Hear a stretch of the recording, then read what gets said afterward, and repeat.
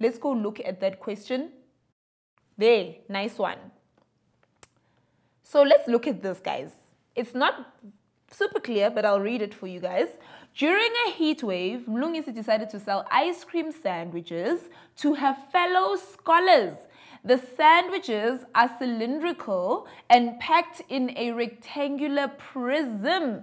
So you can see, this is the cylindrical um, sandwich, fancy sandwich, cylindrical sandwich, and then it's packed into a rectangular prism.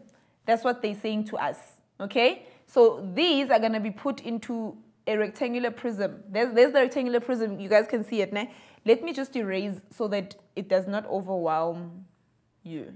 We've got, that's the container that it's being put in, okay? The dimensions of the cylindrical ice cream sandwiches are as follows. The radius of one of the ice cream sandwiches um, is 3.5 centimeters and the height of one of the ice cream sandwiches is, so we've got the, the height and we've got the radius. Radius is from the center to the edge of the cookie and the radius in this particular case is 3.5. 3.5 centimeters. And then the height, this is the height. Ne?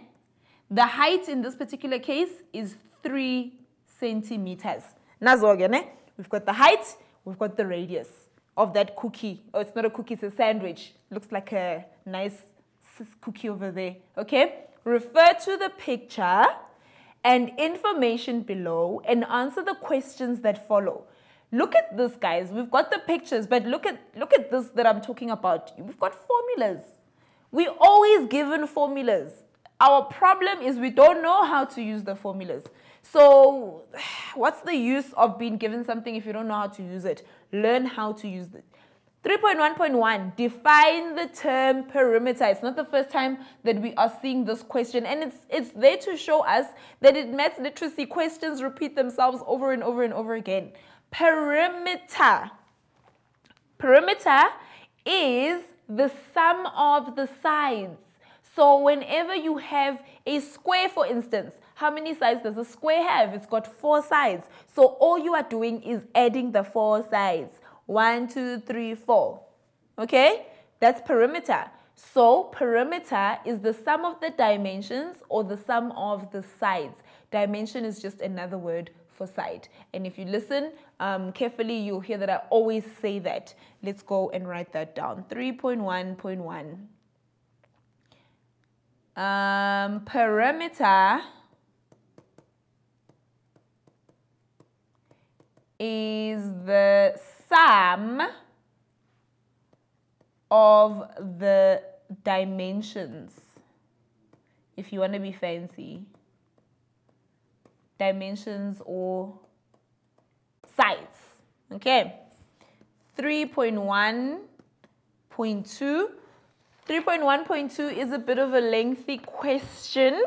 It says to us, the height of the rectangular prism in which the ice cream sandwiches are packed. So now we're going to the container, okay? We've got the sandwiches.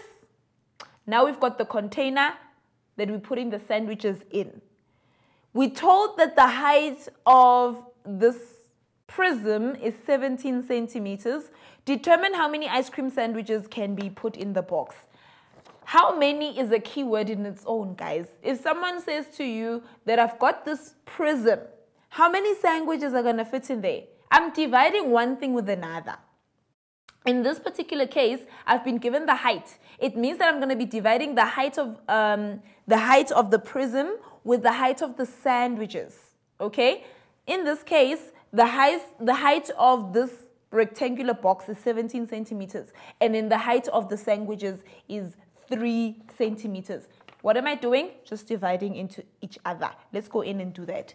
So it's going to be um, height 1 divided by height 2. Height 1 is what? It's the 17 centimeters of the, um, I almost just said um, lunchbox of this, which is the container that the sandwiches are going into. And then we are told here that the height of one ice cream sandwich is three centimeters. So I'm dividing that by three centimeters. Always remember, you have to divide centimeters into centimeters. The unit of measurement needs to be the, the same. If the one was centimeters and the one was meters, we were going to have to do some conversions in between. I'm going to answer it right there. So 17 divided by 3, 5 and 2 thirds, 5,67.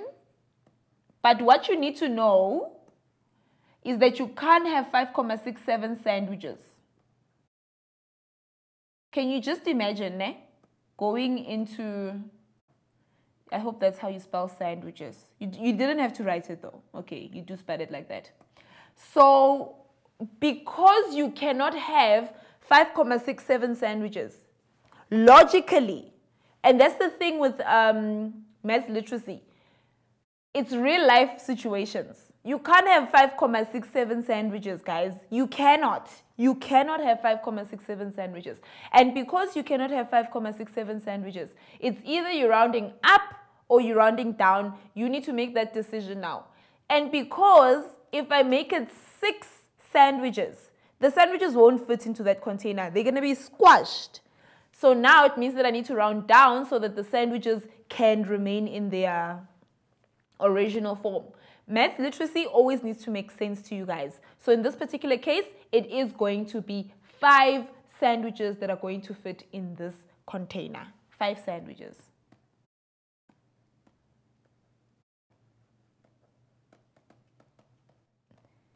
Don't be obsessed with the spelling, but it is important for you guys to understand what you are doing. The next question then says to us, calculate the volume of one ice cream sandwich. What is the nice thing? We've already been given the formula of volume. So it says to us that volume is pi times radius square times height. And then it says to us here the radius that we need to use, uh, not the radius, sorry, the pi value that we need to use is 3,142. Always, always, always use um, the, not formula, but the value that you have been given. Sometimes they'll say 3,14. Sometimes it's going to be 3,142. So just because the question paper you were using um, to practice said to you 3,14, don't think that then it's going to be anything different to that. Always use what is given in the question paper. Let's go calculate the volume of one ice cream sandwich. Volume, as we are told, is pi times the radius square. That square only applies to the radius, guys, times the height, 3,142. Radius, in this particular case, we were told that the radius is 3,5. You remember, there's that 3,5 over there. 3,5 and the height is 3. Again, it's the same unit of measurement. This was centimeter and this was centimeter. So don't um, mistaken that. If the one was meter, the one was centimeter, or the one that was millimeter and the other was centimeter, we were first going to go and convert um, into the same, yes, units of measurement. So in this particular case, it's going to be 3,142 times 3,5 times 3. And then that's going to be 32,991. And that's going to be centimeter cube. And then guys, here in this particular case, we haven't been told um, whether to round it off or not.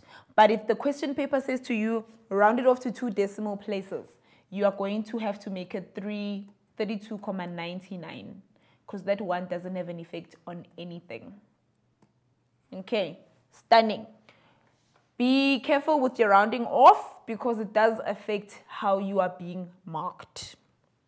3.1.4 Mlungisi is worried about her weight after eating too, much, too many ice cream sandwiches. Her body mass index is currently 29 38 kilograms um, per meter square and she is 1.6 meters tall. Determine her current mass and round off your answer to the nearest kilograms. So in this particular case, BMI was not, they didn't give us BMI with a table, um, with a, um, yes, with a, with a graph. We're just being asked BMI blindly, not blindly, but easily, you know, um, and it's just three marks. So let's look at the BMI that we are, the formula for BMI that we are given. I want you guys to look at this formula before I can use it. So this formula that we are given for BMI says to us, use the following formula. It says to us, BMI is equals to mass in kilograms all over height in meters square.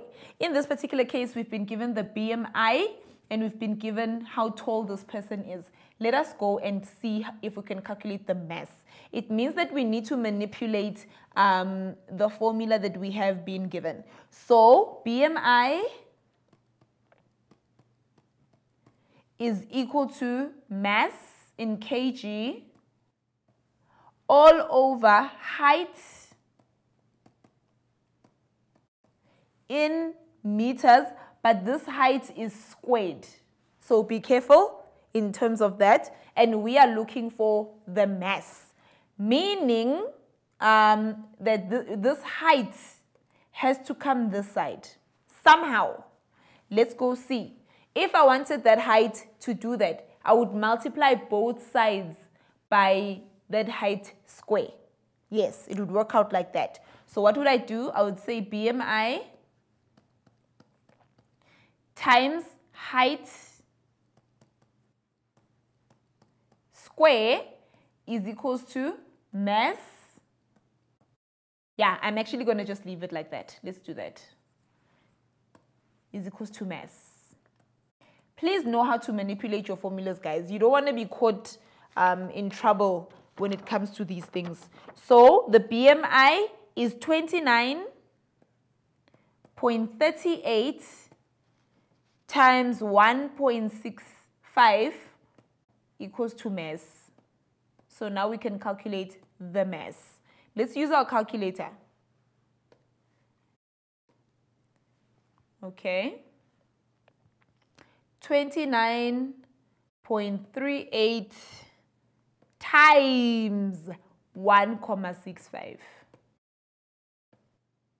48.477.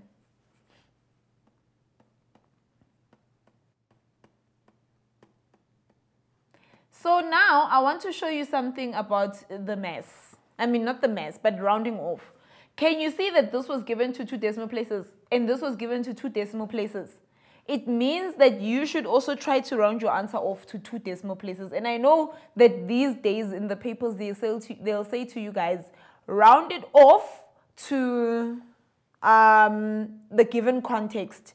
Can you see that the given context here is two decimal places and the given is also two, so it means that you need to go and round it off to two decimal places. Let's round it off to two decimal places. It's going to be 48.48 kilograms. So this is this person's mass. Okay.